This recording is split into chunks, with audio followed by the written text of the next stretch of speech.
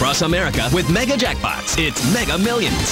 Hello, America. I'm John Crow. It's Tuesday, April 14th, and tonight's Mega Millions jackpot is an estimated annuitized $47 million. To win that jackpot, you must match these five white balls plus that gold mega ball. Now, let's see if I can make you a millionaire tonight. Our first number tonight is 68. That's followed by 7.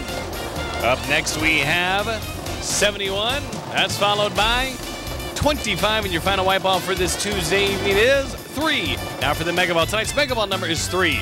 Again, tonight's winning numbers are 68, 7, 71, 25, 3, and the gold Mega Ball is 3.